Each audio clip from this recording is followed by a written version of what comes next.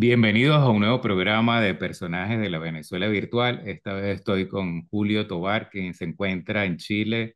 ¿Cómo está Julio? Bien, Jorge, bien. Todo bien, aquí estamos. ¿Y tú cómo estás? Bueno, aquí tú en verano y yo en invierno. Mira, bueno, Bueno, Jorge, eh, este, preséntate un poco para ver, eh, para que te conozcamos. No, bueno, yo, Julio Tobar, vine a Chile en el 2017, parte de la, de la gran diáspora que salió, si lo podemos llamar de alguna manera, llamémoslo etapas. Que la migración venezolana ha, ha presentado varias etapas. Hay personas que salieron hace mucho tiempo, empezando el 2000, 2002, cuando empezaron a haber señales a lo mejor políticas que no les gustaron en el país, pero las grandes, yo creo que las grandes vinieron en 2014, 2017 por lo menos ese año que comprendió 2017 y 2018, en donde la crisis acentuó bastante fe, muy, muy, muy, muy duro, sobre todo en la parte alimenticia y económica, en el desabastecimiento, la, la, la inseguridad jurídica por los allanamientos, la persecución todo este tema. Y, y bueno, hay una ola actual que es del 2021 para acá, pero yo pertenezco a esa gente que salió en 2017 en su mayoría eh, estudiantes, personas trabajadoras también. Aparte, me radiqué acá en Santiago, vine de- directo de Santiago, no estaba en ninguna otra otra región de acá de Chile. Y bueno, ya vamos para siete años acá. Eh, en Venezuela estudié Derecho, me gradué de abogado, estaba haciendo una maestría en Derecho Penal, pero también tenía participación activa en, lo, en la política, eh, eh, viendo cómo chocaban dos modelos de lucha, porque en esa época para tú tener voz o para tener, digamos que tribuna o participación, debería, debías anexarte a lo que era la Mesa de la Unidad Democrática, que era el aparato político, llamemos de oposición, que tenía participación, pero al mismo tiempo uno se da cuenta de muchas cosas y, y, y la resistencia, lo que llamaban la, la, la, la guarimba coloquialmente, eran las personas que tú sentías, o sea, no tenías que escucharlos, tú sentías que querían un cambio de verdad, que querían luchar por, por, por algo que fuera distinto a la realidad que ellos estaban viendo ahora. Entonces uno se estaba inmerso en esos dos mundos. Creías que con la participación iba, ibas a llegar lejos, pero poco a poco te das cuenta que no existe Estado de Derecho, que no existe separación de poderes y que nadar dentro de esa misma corriente, tarde o temprano, no iba a generar ningún cambio. Entonces, eh, fui nadando más hacia la corriente de la resistencia, de la lucha. Obviamente en Venezuela jamás se organizó una lucha armada como tal, primero por, lo, por los recursos, por la desventaja que acarreaba esto, siendo el aparato de inteligencia cubana, que nosotros sabemos que está en Venezuela, teniendo el control absolutamente de todo, con el SEBIN no solamente, el SEBIN es la punta del iceberg, tenemos también la DGCIM, es la contrainteligencia militar, y bueno, todos estos organismos que están preparados para, para para abordar y desmembrar cualquier movimiento de cambio real o de resistencia, incluso antes de que se geste. Por eso vemos que también en esos años salieron muchos mu- muchas personas huyendo porque sabían lo que le venía. Eh, personas que realmente estaban conspirando, personas que estaban luchando por un cambio verdadero y que, bueno, no, no, no se pudo manifestar. Entonces yo como también formé parte activa en la lucha en, en la calle, en la lucha política, ya uno estaba, yo soy de Maracay, de Aragua, y uno estaba como fichado, de verdad. O sea, no tengo ínfulas de gran dirigente, no fui un gran dirigente nacional, pero vi cómo, cómo llevaban al helicoide a Caracas a personas que necesariamente no eran grandes dirigentes, a, dirigentes estudiantiles locales, dirigentes sociales locales, dirigentes de los barrios, que se encargaban de, de voltearle, por así decirlo de alguna manera, los votos a los chavistas, de, vol- de voltear la, la mentalidad de las personas y de crear esa masa, esa mayoría que después se manifestaba en la calle. Entonces ellos iban a atacar esas cabezas y no era necesariamente, como te digo, ser una explosión, un gran dirigente nacional para que esto pasara. Y bueno, fueron personas que tuvieron que abandonar, el país, no solamente por su integridad física, sino por la de su familia también. Yo tuve que salir también por las in- indisposiciones económicas y, y por la salud mental, porque ya era parte de un torbellino del cual no podía salir. Entonces, bueno, eso es un- como que un poco por encima de, de, de quién soy, eh, graduado en Derecho y, y, bueno, esa, esa es una parte, la parte de la lucha política, la otra era dentro de los tribunales, porque yo llegué a ejercer, estuve un año, un año ejerciendo después que me, que me gradué y siendo sincero de cómo, cómo uno veía desde adentro la putrefacción que existía en el Poder Judicial, en donde tú estás llevando a cabo, tratando de ejecutar eh, un ordenamiento jurídico y sabes que los jueces, los magistrados, de los magistrados para abajo son puestos a dedo, los fiscales obedecen órdenes políticas. Entonces, tenemos situaciones, esto no es la primera vez que pasa en América Latina, América Latina siempre ha tenido dictaduras que se hacen con el control judicial y ahora en este momento hay fenómenos como por ejemplo los cárteles en México, que no necesariamente hay una dictadura, pero una dictadura del terror, en donde los cárteles manejan jueces, magistrados y fiscales, así como lo hacía Pablo Escobar en Colombia en los 90. Entonces, en Venezuela esto se da, pero dentro del Estado. Y tú como abogado, ejerciendo dentro de este monstruo con muchos tentáculos, te, te, te decepcionas y dices, pero, o sea, ¿qué estoy haciendo acá? No estudié para esto y, y, una de las cosas, o sea, la desilusión, las carencias económicas, el miedo a la persecución y la salud mental, sobre todo, como te digo, por mi familia, me hicieron, a, me, me hicieron tomar la decisión de emigrar. Bueno, también eh, pienso yo que te tocó esa época. ¿Cuándo fue que, que murió, que mataron a Oscar Pérez? Más o menos en esa época. Sí, en el 2017, si, no me, si mal no recuerdo. Creo que fue, o sea, el mes no lo recuerdo muy bien, pero era en esa época turbulenta. Era, o fue en el 2014, no, en el 2017, correcto. Porque sabes que primero hubo, los primeros estallidos del 2014 y el 2014 dio como pie porque en el, el 2000, Maduro asume en el 2013. Y te acuerdas que inmediatamente Maduro asumiendo se da el DACAzo. Y el Sí, DACAzo fue un fenómeno que abrió las puertas a un efecto dominó y, y ahí se empezó a ver más el desabastecimiento, más los militares en la calle, más este tema de control más hacia el comunismo, que digamos que, o sea, toda esta puerta de demonios la abre Chávez. Yo, yo, cuando las personas dicen, no, es que Chávez, no, no, Chávez, Maduro, es el mismo proyecto.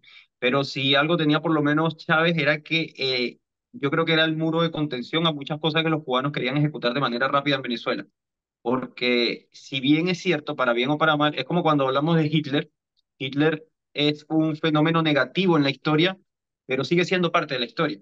Y por eso, de hoy en adelante, se, se hablará de Hitler, que es malo, que es negativo, pero se hablará de Hitler. Entonces, Chávez obviamente tiene un efecto negativo en Venezuela, el chavismo explotó una bomba de putrefacción política, jurídica, social, cultural, etcétera. Pero eh, Chávez tenía un, un liderazgo construido por él mismo en donde a veces los cubanos tenían como una pared, porque yo, yo creo, o sea, no soy conspiranoico, pero no, no sonaría muy loco de que la misma gente de su entorno sacaría a este hombre del medio para poner a uno mucho más manejable y cuando tú te vas a los palmares de Maduro, los currículos, el currículo político de Maduro, él está formado en Cuba desde el principio, desde las juventudes comunistas. Entonces es mucho más moldeable. Y cuando Chávez muere, que Maduro entra al poder en el 2013, empiezan una serie de mecanismos que nosotros sabemos que es el modelo comunista, el modelo eh, que ellos llamaron el socialismo del siglo XXI. Recuerdo que cuando Chávez se llamaba el Plan República y tenía varias fases. Eh, el Plan de la Patria, perdón, el Plan República es, otra cosa, es electoral. El Plan de la Patria. En muchos, en varias de, en una, más de una década iba como por paso. Y nosotros nos damos cuenta que en dos años, del 2013 al 2014, había entrado, pero de una manera totalmente abrupta. O sea, totalmente por una pendiente a- así descendi- eh, a- descendiente que, descendente que nosotros nos quedamos como que esto va demasiado rápido, no sé si que están recuperando el tiempo perdido, no sé qué está pasando aquí. Y ese es esos son los años del revuelo. Esos son los años de la guarimba, son los años de las trancas, esos son los los años, el año en que matan a Ne- Neomar Lander, en que matan a, a mu- empiezan a morir lamentablemente muchos jóvenes, que ya, que ya había pasado en el 2014 con, con el primero, con el, el muchacho que matan, que fue el, con Basil, Basil da Costa, ¿lo recuerdas? sí, Con Basil da Costa, y después, eh, en el 2017 viene, viene, fue como un 2014 con esteroides, o sea, hubo muchas más pérdidas humanas, mucho- hubo mu- mucho, fue, fue muy brutal la represión en esos años, y si mal no recuerdo fue en 2017 en donde matan a Oscar Pérez, que ahí, o sea, yo estaba en el país todavía, y allí uno dice como que el poder que tiene esta gente, que muchos lo subestiman, porque vamos a, vamos a ser claros y vamos a ser sinceros, los organismos y entes internacionales que siempre han actuado por sus intereses, obviamente, actúan también cuando los gobiernos son endebles, pero estas personas tienen mucho poder y tienen el poder económico de un país, tienen el poder económico del país con las reservas de petróleo más grandes del mundo. Por eso, no hemos tocado este tema, pero cuando a mí me hablan del Esequibo, No, aquí, aquí no estamos para hablar de soberanía. Si- simplemente, si ese territorio se ha anexado a Venezuela, es más poder para el tirano, porque son más recursos para, para, no para la economía venezolana, sino para el bolsillo de los jerarcas que no tienen contraloría ni control absoluto. Y por eso es que ellos hacen lo que quieren con las relaciones que tienen con Irán, que es otro eje en que está involucrado en contra del mundo occidental. Y, y estas personas tienen tanto poder que ellos demostraron, o sea, son descarados. La manera en que asesinan a Oscar Pérez está por encima incluso de los crímenes de guerra, porque en la guerra hay códigos que están sujetos al el Tratado de Roma, el, el eh, la Convención de Ginebra, o sea, hay cier- ciertos parámetros que, que hasta un niño conoce en la guerra, que por lo menos no le puedes disparar a un enfermero, no puedes dispararle un a un paracaidista mientras está en el aire, o sea, son cuestiones de código, a un rendido, a los heridos, porque son crímenes de guerra, y como se cometían en la antigua Yugoslavia, si nos venimos a tiempos recientes. Y Oscar Pérez estando ya rendido, que, que si no lo graba en directo, en el, eh, eh, gracias que tenemos las redes sociales, nadie se enteraría de esto, porque estas personas actúan como, una, como la cortina de hierro de la Unión Soviética. Ellos hacen sus movimientos y, y, cierran todo lo que tengan que cerrar. Por lo menos hemos visto en Venezuela como, como cuando el Nacional, ¿recuerdas la foto de la morgue que estaba colapsada en Bellomonte y el Nacional la publicó y después fueron por ese editor? Igual que los médicos, yo vengo de Maracay, hubo un pediatra que eh, documentó y, y, y filtró a la prensa eh, imágenes de niños que estaban neonatos, que estaban en estado de desnutrición y, y, que estaban agarrando infecciones en el, porque no tenía, o sea, las carencias parecían hospitales de guerra, Hospital Central de Maracay, y, este médico terminó por eso. Entonces, es- estas personas no se paran en, para, no, en parámetros, no se detienen, y estando rendidos, diciendo que habían civiles ahí, y todos vieron el video, como fue fulminado, tenían eh, con un RPG al final. O sea, fue una masacre. Y, y que a ellos no les interese que el, que el mundo vea esto, que la comunidad internacional vea esto, te da a ti una lectura del poder que tiene y, y que se jactan de eso porque dejan así como que sí, lo hice y qué pasó. O sea, hablando coloquialmente, así como que, ¿cuáles son las Claro. consecuencias? Entonces, bueno, tú estás ahí en esa situación, me imagino yo, y, y dirás, bueno, aquí eh, la lucha es asimétrica y, y tienes pocas posibilidades de, por ejemplo, que mucha gente dice, bueno, a lo mejor se podrían organizar y tener una, una lucha eh, que sea tipo, eh, digamos, mm, su- subversiva, pero digamos, contra este gobierno, sería como una guerrilla no necesariamente dirigida desde La Habana, sino otro tipo de guerrilla, eso en Venezuela no tiene chance porque No, no, no están, crea- más, no están creadas la- las condiciones para eso. más que David Goliat. Y, y si, si le- uno, la imagen que le viene inmediatamente a uno de la mente es si le pasó esto a Oscar Pérez, ¿qué, qué, qué le puede pasar a los demás? O sea, y, y lo digo Oscar Pérez en el, en el sentido de que él creó una figura mediática, una figura muy mediática. una figura, digamos que de peso dentro de la lucha. Y fueron directamente por, por, por él antes de que se convirtiera en un cabecilla de algo más grande. O sea, eh, es lo, lo que te está diciendo que ellos van desmembrando antes de que la lucha tome forma. Por eso yo digo, y, y vuelvo y repito que no son teorías conspiranoicas, cuando uno ve estos líderes de la, de la pseudo oposición venezolana que están tan tranquilos, que están libres, que tienen sus cuentas sin estar bloqueadas dentro de un sistema tan tiránico, es porque son partícipes del mismo. Es porque son tan partícipes del mismo, porque nosotros hemos visto que las personas que de verdad quieren un cambio real pagan las consecuencias y de la peor forma posible. Mira, bueno, entonces tú me habrás puesto en pausa, me imagino yo, tu, esa, esa sangre que tienes de, de, de luchador y eso, porque obvio cuando se te escucha hablar, pues tienes, se nota que, que estabas metido en eso y que tienes conocimiento de, de detalles y lo tienes como muy, muy, eh, digamos, en ti, el- el- la situación eh, que ocurrió en ese momento y, y me imagino que sigues en lo, lo que sigue ocurriendo, pero claro, ya desde, desde la barrera Claro. y, y entonces, bueno, esto te da paz para hacer una vida normal en Chile.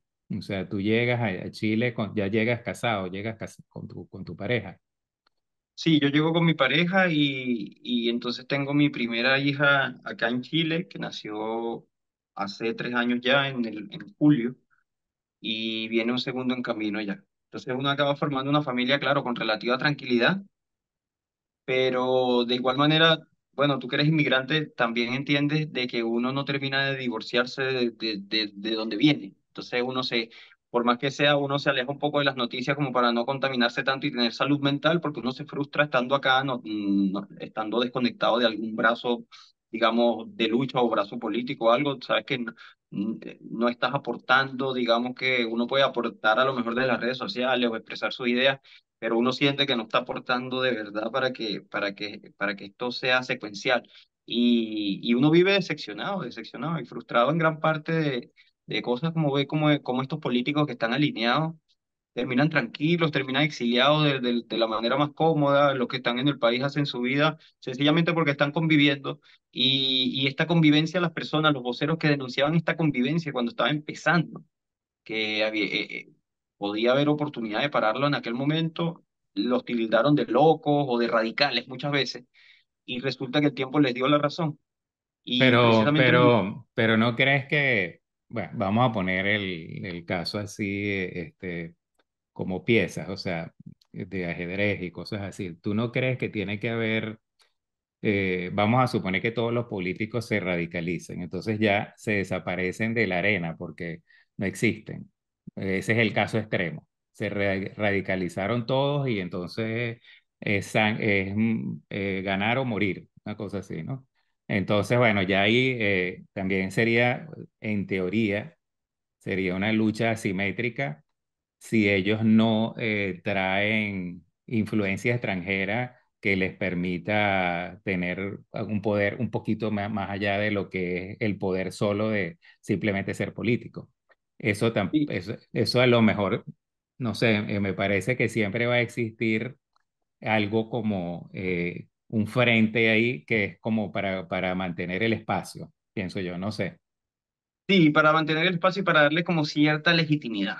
Yo pienso que ante el mundo, como de que, bueno, aquí está un frente político, los dejamos que inscriban su partido, los dejamos que luchen, pero es la pura fachada, es la imagen. Claro, Es el, pero, pero, pero desde el punto de vista no del gobierno, sino del punto de vista del político que se presta a eso, pongámoslo así. Esa- claro. esas personas tienen que existir porque son como el principio de una pequeña mediación hacia salir de eso, ¿no? Pon- Pongámoslo así. Si se desaparecen por completo, yo creo que ahí sí es verdad No, si se que desaparecen por eh, completo, eh, estamos hablando de, de casos muy radicales como por ejemplo Corea del Norte, algo que, que, que está en el extremo de los extremos, que es claro, algo eh, que es el, el absolutismo más puro y duro. y Y eh, no eso sé, no Cuba, es, es- no es la solución tampoco, pienso, ¿no? Sí, claro, pero la, la cuestión es que es es súper complejo. Está, estamos viendo gente que obviamente hace vida, y no te digo que todos sean así, porque es malo generalizar. Yo aprendí en las aulas de clase que generalizar es una falacia, y, y uno lo aprende también en la vida, como por ejemplo el tema de los inmigrantes, que por uno pagan todos y se sabe, tú, tú sabes de eso también, yo también lo sé. Siempre la general- generalización es una falacia. Cuando vamos al ámbito político, por más inmundo que esté un espacio o un sector político, siempre va a haber alguien que a lo mejor está allí dentro, pero cree eh, en una posible solución o, cree de verdad, o personas que simplemente están engañadas y pertenecen a eso. No todos son cabecillas malignos. Por ejemplo, creo que era Sócrates, no recuerdo si fue Sócrates o, Platón, decía que personas que sencillamente no, no llevan el gen de la maldad, sino que están engañados. Y por eso existe el error. Hay personas que cometen un error, que piensan que están haciendo lo correcto. Y a lo mejor no lo están haciendo, pero ellos piensan que lo hacen. Y, el que piensa que hace lo correcto piensa que hace el bien. ¿Qué es lo que pasa? Que cuando las personas recapacitan, se dan cuenta que es un error y, y Sócrates decía, por eso es que se llama error, porque el que se da cuenta que estaba equivocado rectifica. Entonces, ¿en dónde es que está la estupidez? Eh, entre los escritos de Sócrates, él hablaba de la estupidez diciendo que el que se da cuenta que es un error, internaliza el error y lo sigue cometiendo, ahí sí hablamos de estupidez.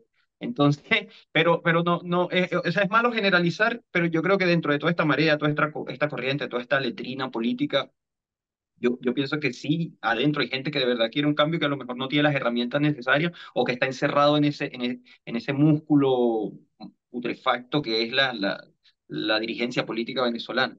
Pero el, el, el fondo, el fondo del esquema es que el CNE, obviamente como es manejado por el régimen, el CNE sabe qué partidos políticos aceptar y qué partidos políticos no aceptar.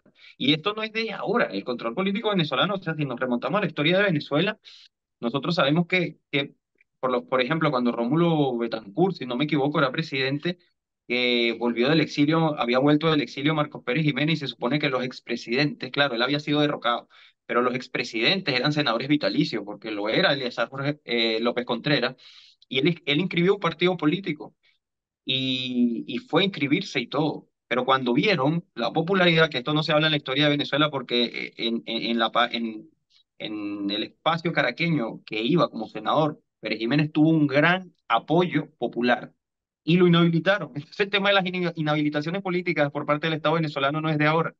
Y ahí es donde termina totalmente de exiliarse allá, allá en Madrid. Entonces los que se hacen llamar muy demócratas no, no dan este, este cuento, o sea, este cuento le faltan, le faltan muchas piezas a este rompecabezas.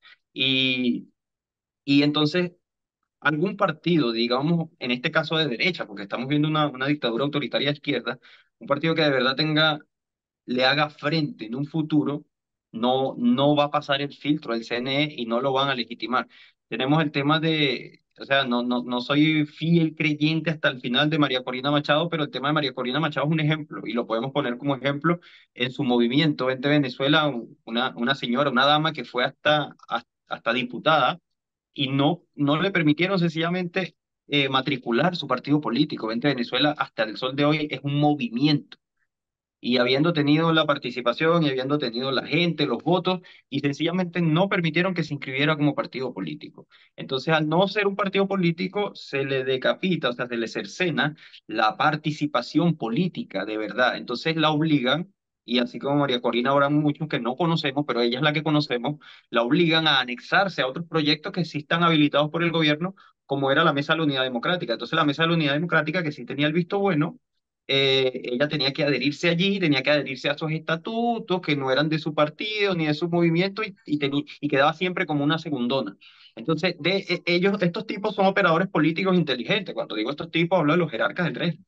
Y, y, los jerarcas, o sea, el aparataje político de Venezuela es, es, es, llevado a cabo por los hermanos Rodríguez, es llevado a cabo por, por eh, bueno, desde, desde tiempos inmemoriales era por Vicente Rangel Ábalos, por Vicente, José Vicente Rangel, perdón, y, y son cosas que están estructuradas y pensadas para que no germine eh, eh, la, la planta que en el futuro quizás los lo, lo, lo desplace a ellos. Por dar un ejemplo, podemos dar un ejemplo aquí en América Latina, Javier Milei.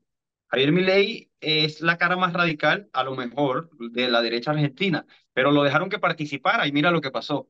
Entonces, incluso porque, porque se confiaron, porque de forma burlesca en, lo, en los noticieros decía María Cristina, Cristina Kirchner, Cristina Fernández, decía, bueno, si él quiere que, que inscriba a su partido político y me haga frente. Y esto fue lo que hizo.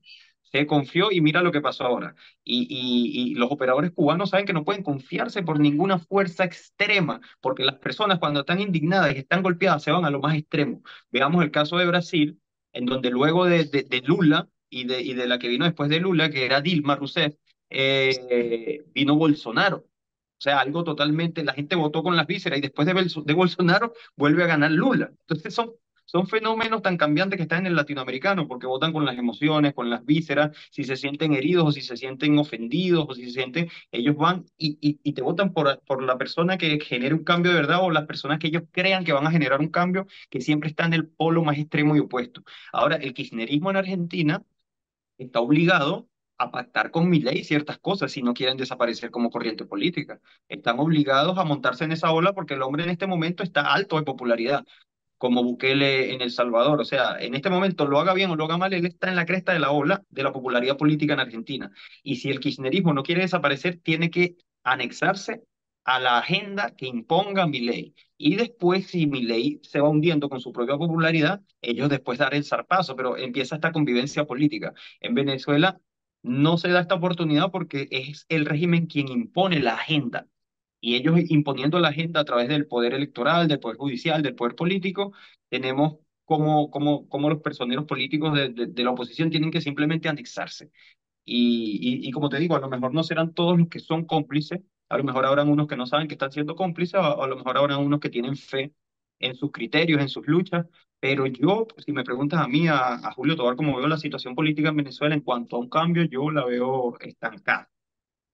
Bueno, yo pienso que el, esa, digamos, legitimidad que, que tiene que tener un gobierno, no la tienen los gobiernos si no tienen el apoyo popular.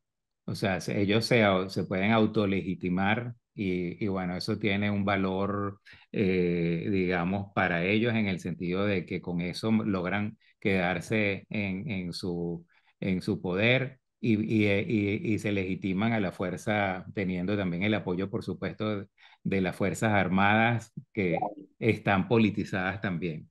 Pero eh, como no están legitimados de, la, de lo que es el pueblo, están muy débiles en el sentido de que también puede su, ocurrir una catástrofe, porque eh, el pueblo puede eh, demostrar que también hay pueblo en las Fuerzas Armadas y pueden demostrarse también que hay pueblo en, la, en las bases que ellos creen tener porque al fin de cuentas tú tienes que tener de un, eh, desde los, eh, para mantenerte en una cuestión de esa, tienes que tener un control total hasta de qué agua te tomas y, y quiénes son Sí, tus claro, es tu guardaespaldas, o sea, es demasiado es que ellos detalle no viven para... tranquilos.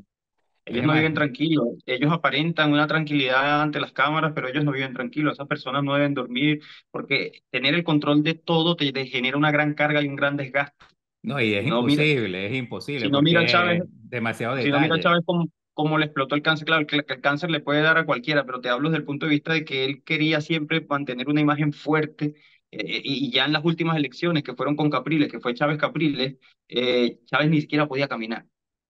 Entonces, esta imagen fuerte se desvanece porque ellos se van calcomiendo por dentro y, y el control de todo termina desgastando. Ahí está la contrainteligencia militar, que es precisamente por eso que tú dices, claro que hay parte del pueblo en las Fuerzas Armadas que se dan cuenta que esto no está bien, pero están vigilados hasta, Claro, hasta pero, pero, pero, Entonces, eh, yo pero tú tienes, tienes que vigilar todo, eso es, es demasiado costo, demasiado complicado. Claro, pero es eso o es salir del poder. Y si ellos salen del poder, el, el costo va a ser peor. Fíjate, yo tengo, yo, yo conozco personas que O sea, que, que están presas, que están en la tumba, el- la que le llaman así, allá en el helicoide, y, y, y, y eran militares y exmilitares. Y hay militares que, que, que los desaparecen, que han sido víctimas de tortura. Todo esto pasa en el siglo XXI. Lo, eh, por lo menos este régimen, si sale del poder, se les acaba, ellos tienen ya un, un, expediente en la Corte Penal Internacional, eso lo sabe todo el mundo. Y la Corte Penal, Penal Internacional es un ente, pues muchas personas se confunden. Dicen, no, eso no sirve de nada. No, no. O sea, si lo vamos a los particulares, por ejemplo, si tú estás solicitado por robo, por homicidio, el tribunal no es el que te busca tu casa, a ti te busca la policía, a ti te busca eh, la policía de investigación. Aquí en Chile sería la PDI, en Venezuela sería el CICPC. O sea, ellos son los encargados de ponerte a ti a disposición de la justicia, al tribunal, que es en donde tú tienes una causa pendiente. Entonces, si llevamos esto a la escala del Estado, la Corte Penal Internacional no es un ente de sustraer, no es un ente de agentes policiales, militares, no, no, no. Es, un, es sencillamente un ente de justicia internacional en donde fuera del poder serán juzgadas estas personas, pero fuera del poder, porque el poder es el que las mantiene allí en libertad. Entonces, cuando, ¿quiénes son los encargados de, de, de, de derrocar a los tiranos? Bueno, ya sea el pueblo, Fuerzas Armadas, Fuerzas extranjeras, quienes sean, pero no es la Corte Penal Internacional. La Corte Penal Internacional tiene un expediente con causas abiertas y por eso precisamente es que estos expedientes son, por eso es que los crímenes de lesa humanidad no prescriben, porque se sabe que mientras ellos estén en el poder no serán juzgados. Pero en algún momento, si salen del poder, así sean con 70, 80 años, van a ser juzgados porque esos crímenes no prescriben como tal cual pasó con, con Pinochet, que tenía un blindaje político, porque Pinochet es parte de una transición y luego es asilado en Gran Bretaña, que fue un país que siempre tuvo el apoyo de Chile, incluso en la, en, en, la guerra de las Malvinas, siempre tuvieron bases acá, y los favores, los favores políticos se pagan. Pero luego de que, de que Margaret Thatcher sale del poder y sale la, la, la corriente que protegió a Pinochet en, en Gran Bretaña, lo, lo entregaron, básicamente, porque son, son canjes políticos. Es como si Maduro el día de hoy, eh, digamos que es derrocado o es parte de una transición y se va a Nicaragua o a Cuba, o él va a estar tranquilo mientras esas personas estén en el poder, pero si esas personas se van, se van del poder, lo entregan como un trofeo político, lo entregan, van, los laudos, viene, mira, viene el juez, como en esa época el juez Garzón español se hizo súper famoso porque fue el que condenó a Pinochet, y, y, y, vamos a hablar claro y sinceramente, aquí todas las personas también en el ámbito político y, y, y, jurídico también hay farándula, también hay fama, también hay personas que quieren hacerse grandes. Entonces, cuando se separan del poder, caen en un mundo en donde están rodeados de carroñeros, que todos quieren un hueso de eso, todos quieren hacer a- eh, leña del árbol caído. Entonces, ellos sopesarán y dirán, bueno, estoy intranquilo, pero tengo el poder y tengo el control de todo con todas las consecuencias que eso acarrea, o dejo el poder y, y, y me voy, me hundo, me voy a la B, como dicen los argentinos. Y si no, pregúntale a, a Slobodan Milosevic, el, el, el carnicero de los Balcanes, era el hombre después, en los años 90, o sea, se había disuelto la Unión Soviética y todavía seguía Yugoslavia. Ya habían ejecutado al presidente de Ruma, al, dictador de Rumanía pues, y seguía la antigua Yugoslavia, o sea, era uno de los hombres más poderosos de Europa Oriental. Y cuando ya entra la guerra civil, con este problema que involucra a la OTAN y se divide después en cuatro la, la, la antigua Yugoslavia, eh, cuando es derrocado, él es juzgado en La Haya y terminó muerto, o sea, murió en prisión, murió, murió como un perro en el 2007 en las mazmorras de, de los tribunales de, de La Haya, si, si, si mal no recuerdo. Entonces, ya tenía su expediente, salió del poder, era el hombre, era un hombre poderoso, era el carnicero de los Balcanes y terminó igual en las mazmorras. Entonces, estas personas conocen esa historia.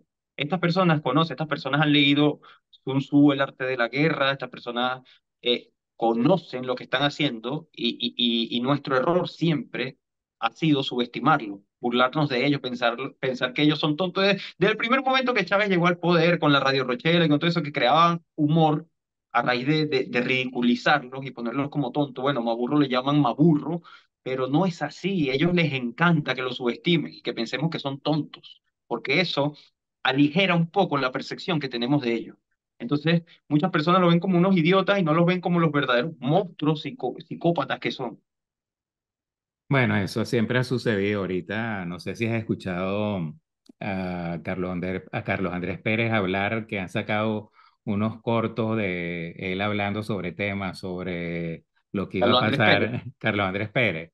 Y ¿cuál es bueno, bueno, el, el, el, preside- el expresidente Carlos Andrés Pérez, Ah, ¿no? pero como me dice que lo saca ahora me confundí, porque Carlos Andrés Bueno, Pérez ya porque, claro, ya murió, pero, pero últimamente no sé cómo la gente encuentra, Ah, que han, claro, que han publicado los videos que él, sí, claro, que él él dan, lo que venía.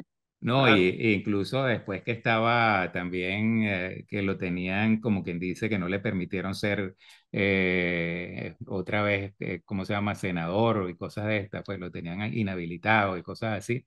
sí, Como él, como él se presenta, como él habla, tú dices, pero no era tan, tan de, maleducado, tan tonto, tan, eh, tan, tan como lo, como lo vendían, que, que una de las como lo, una de las cosas que decían era que no tenía bachiller, que no había hecho hecho el bachillerato y que cómo es posible que el otro era summa cum laude o que era no sé qué cosa y este señor que no tenía estudios y tal. Todo eso se decía, se decía que era colombiano también, eh, que, etcétera. Y entonces ahora tú lo escuchas y dices, bueno, ni siquiera el acento era tan malo, pero claro, como hacen personajes jocosos de estas personas, le, se burlan Claro, de ellos y tal.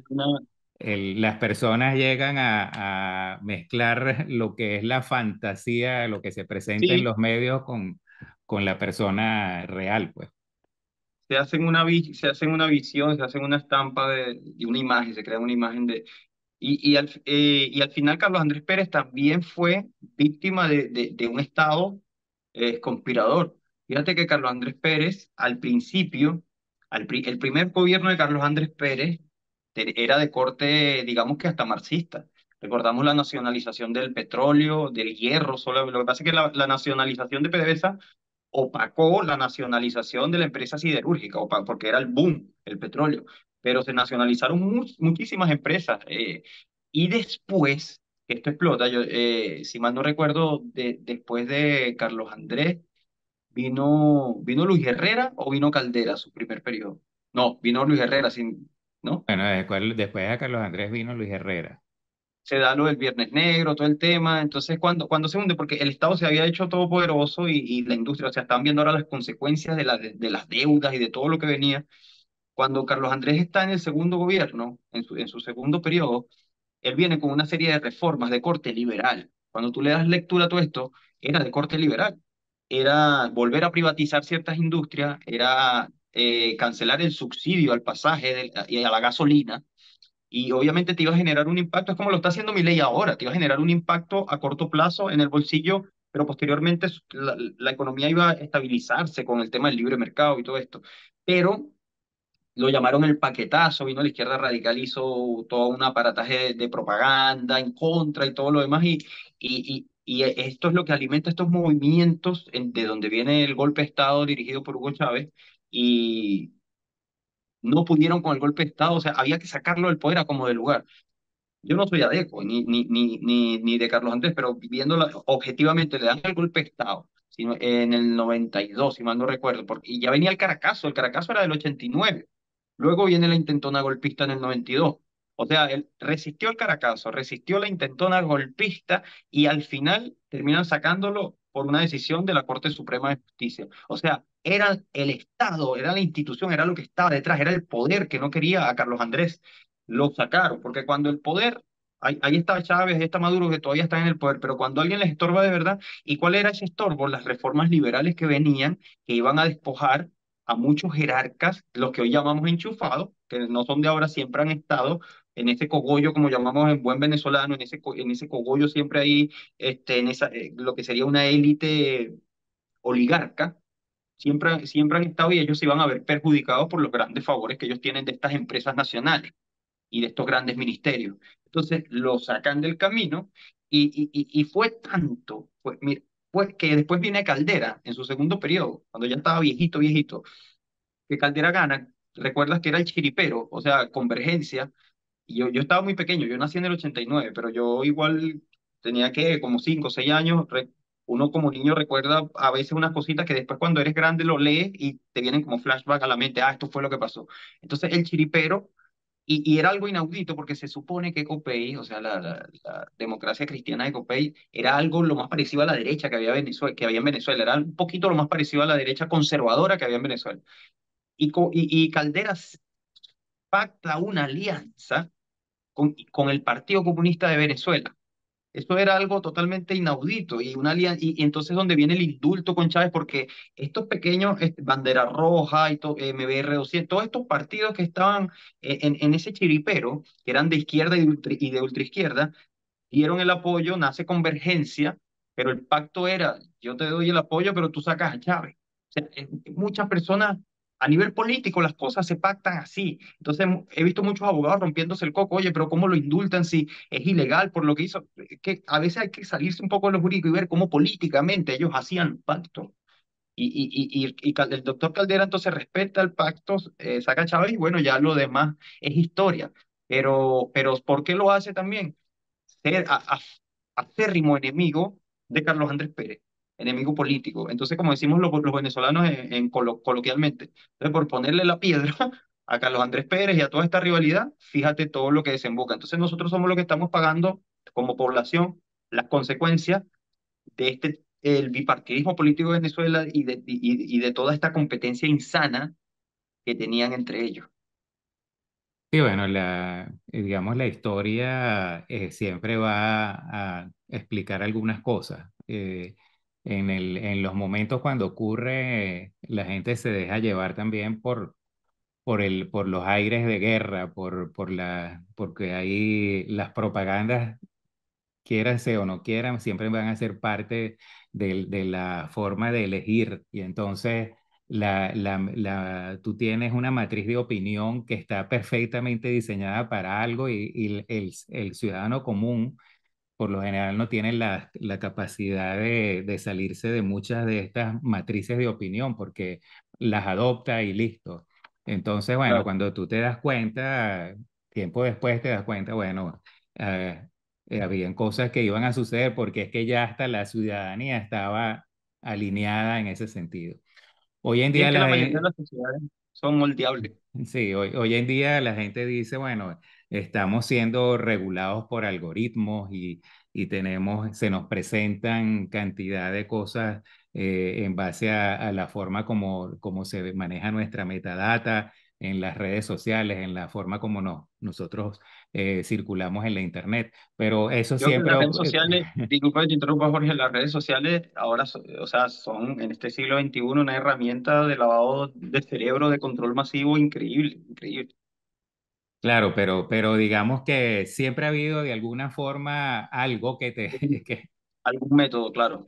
que te, que te sirve para, para venderte, esta es tu opinión, desde, desde la música del, del ascensor que te, que te decía, esta es la música que te gusta, hasta, sí.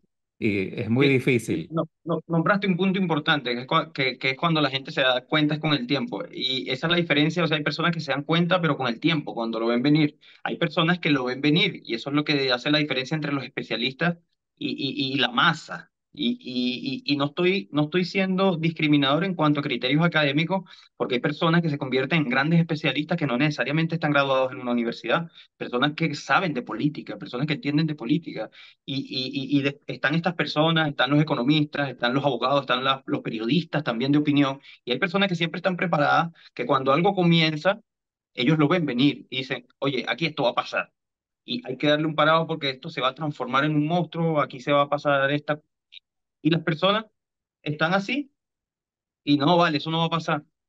E- Y es la gran mayoría, obviamente, eso es lo que separa a los especialistas de las personas comunes. Y cuando, cuando pasa, es que se dan cuenta. Mamá está ahí en el cuarto. Entonces, aquí estoy con, con mi criatura que se había quedado dormida, por eso había tanta paz. Hola, hola, hola.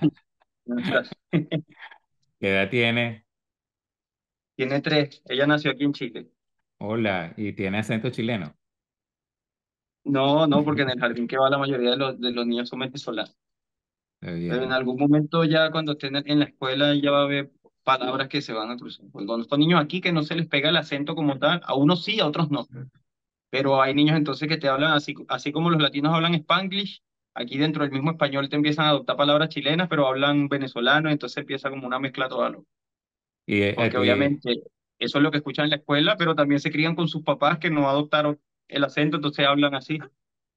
claro, ella tiene un, un, ¿cómo se llama? Una mini Venezuela ahí en, en el apartamento de ustedes, pues. Claro, O sea, está viviendo en Venezuela en este instante, prácticamente. sí.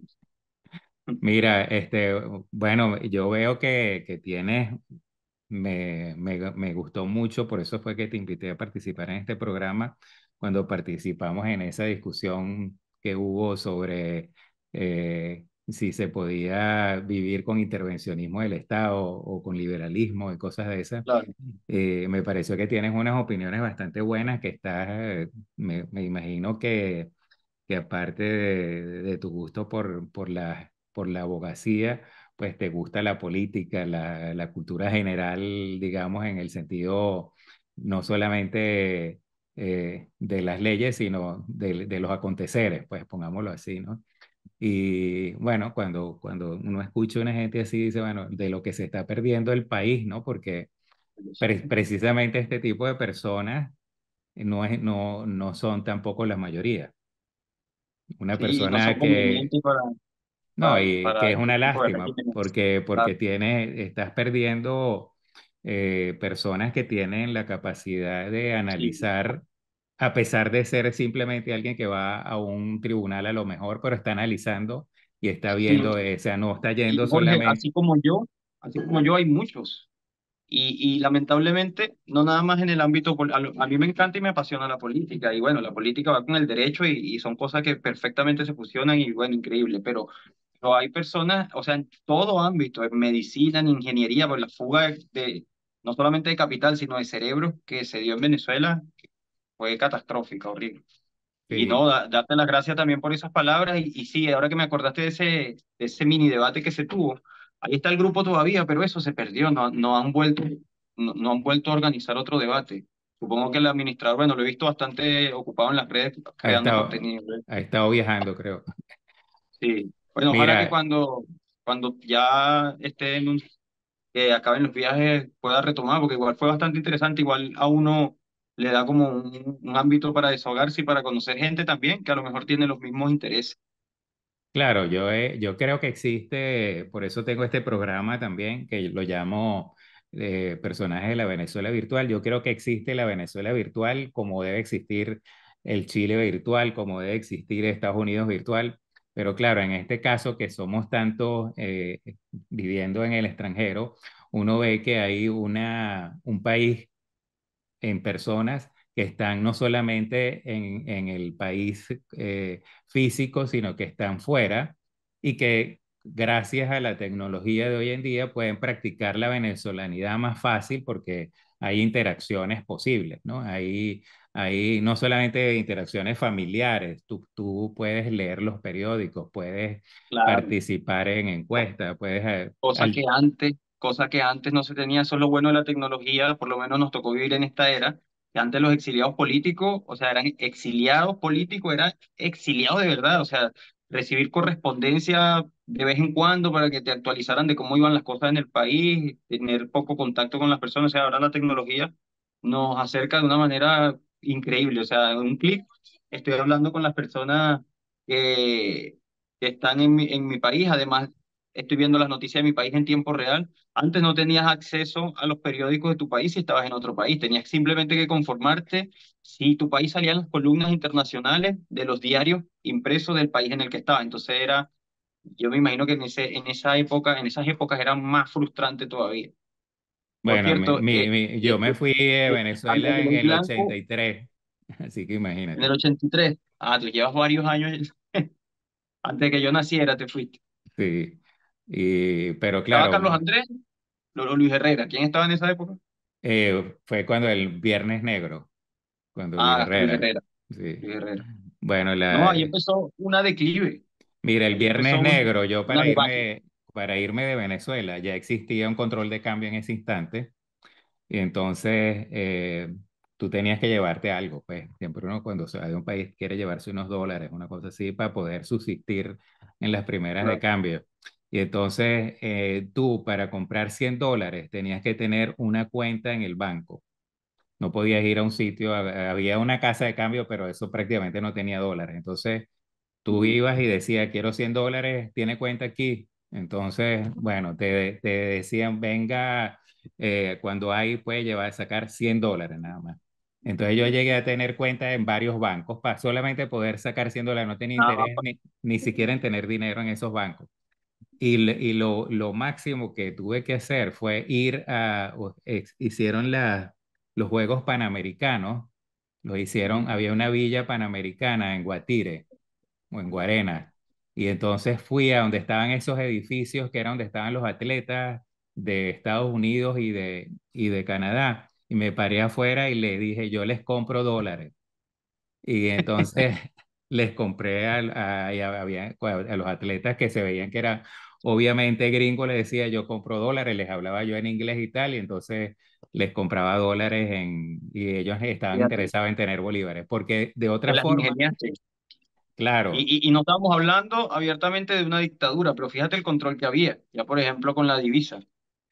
no, te- no, no había forma de, de, de, tener lo que tú te necesitabas para poder salir, pues, o sea, tenías que, que buscártela.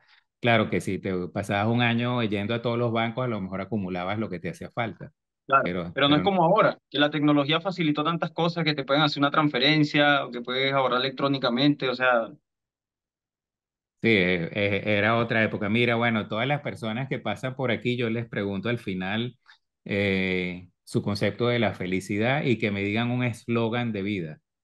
Entonces, bueno, vamos a escuchar tu concepto de la felicidad.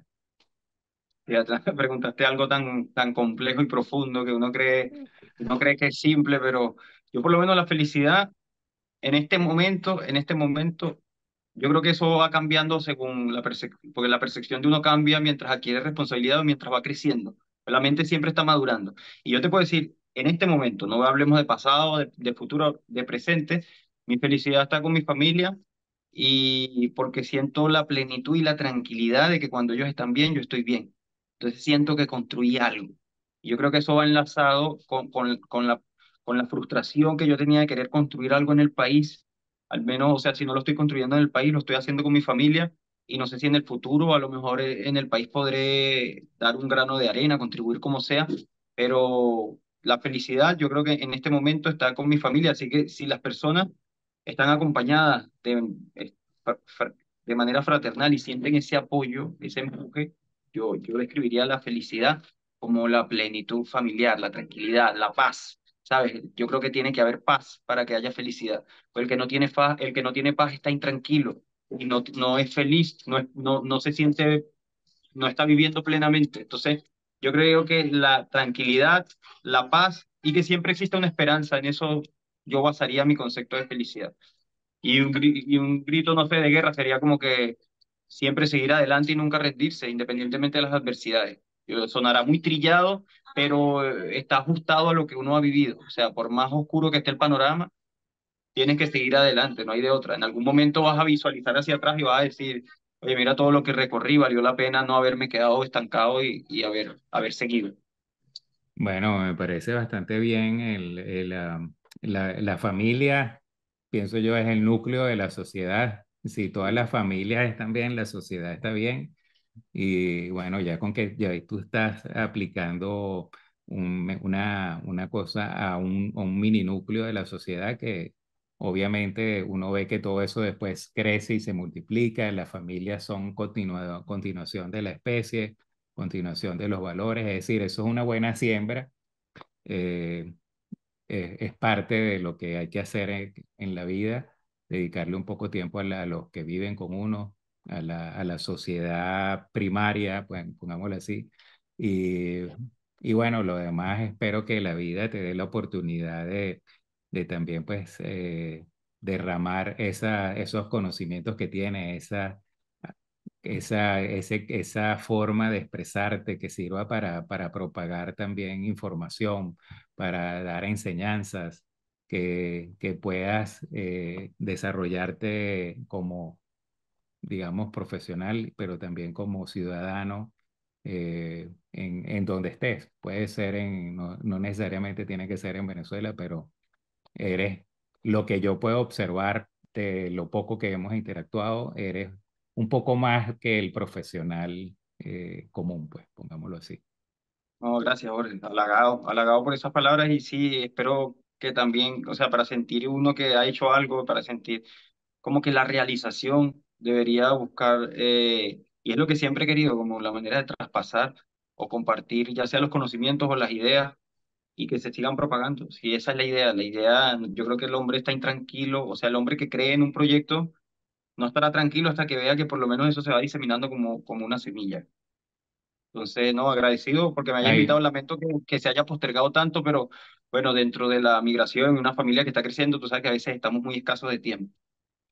Bueno, o sea, eh, eso lo comprendo yo perfectamente porque mis hijos nacieron en el extranjero y, y era, uno es papá, mamá, ah, o tío, tía, abuelo, primo. Bueno, eh, fíjate, tú cumpliste, o sea, en tu vida cumpliste una gran tarea. y Yo creo que siempre que las familias tengan buen acceso y calidad de vida, fíjate, tus hijos entonces tienen pasaporte europeo, ¿no?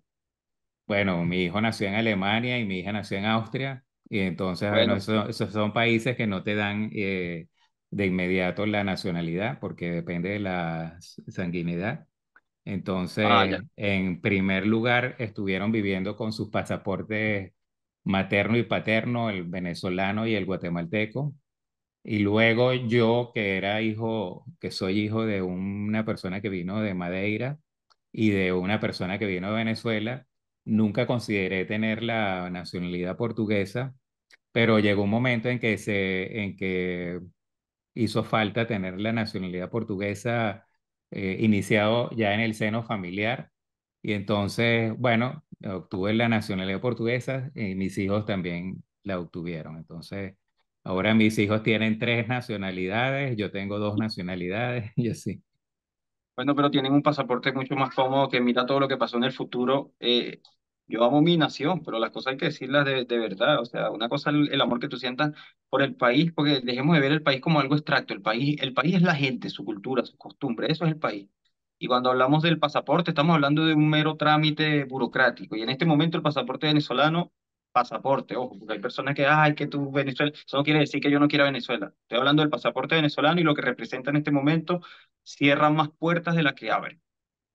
Y bueno, yo eso lo veo también así, pues es una cuestión, eh, yo soy venezolano eh, por, por la, digamos, la, la formación que tuve en mis primeros 25 años de vida fueron muy venezolanas, pues muy, muy concentrados, pues Sí, decir la entonces, verdad no, no te va a quitar nación, nación, no te va a quitar un pedacito de Venezuela. Uno sigue siendo venezolano, fíjate, sí, ahorita está haciendo unas carabotas, pero, pero bien, bien, bien a lo criollo.